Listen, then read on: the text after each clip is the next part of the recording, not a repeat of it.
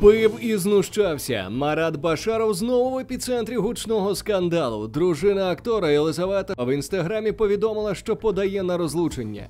Жінка написала, що всіма способами намагалася зберегти родину, але більше не може миритися з тим, що чоловік постійно підіймає на неї руку. Вона вірила, що батько її сина Марселя зможе змінитися, та дива не трапилося. Також Єлизавета натякнула, що у Башарова серйозні проблеми з алкоголем. Раніше писали, що актор зламав дружині носа. Після нещодавньої заяви слово несподівано взяв і сам Марат.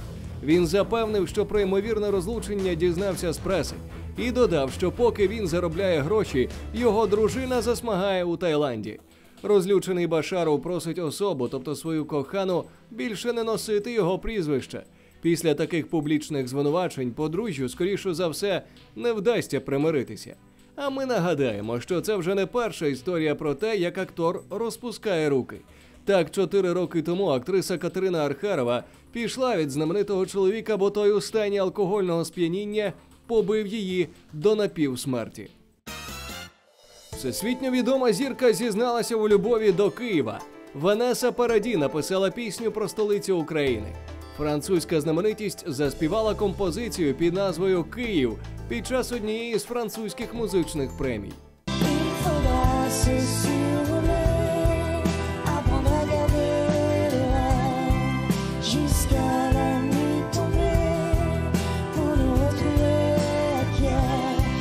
Вже відомо, що ця романтична пісня війшла до нового альбому співачки, який вона презентувала наприкінці минулого року. Шанувальники припускають, що на створення композиції її надихнув приїзд до Києва у 2016-му. Тоді колишня дружина Джонні Деппа знімалася у фільмі Іній литовського режисера Шарунаса Бартеса. Бунт на Оскарі.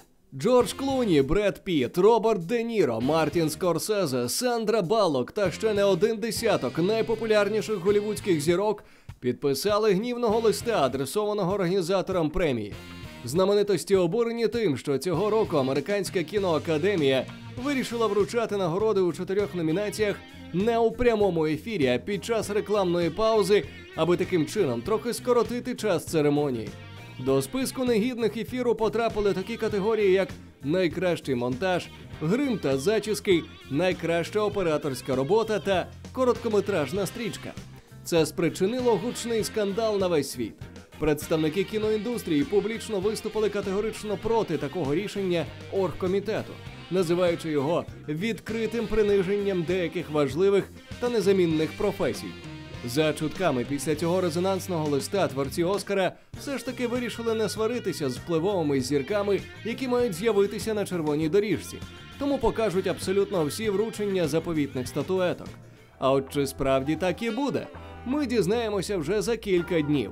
У ніч з 24 на 25 лютого вмикайте телеканал Україна, де проходитиме пряма трансляція найбільш обговорюваної та престижної кінопремії світу. Чекаємо на сюрпризи та несподіванки.